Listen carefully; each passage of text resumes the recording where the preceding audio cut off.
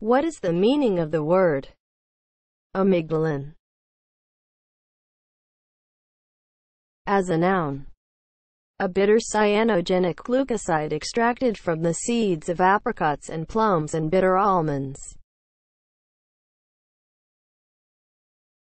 Amygdalin is spelled A M Y G D A L I N amygdalin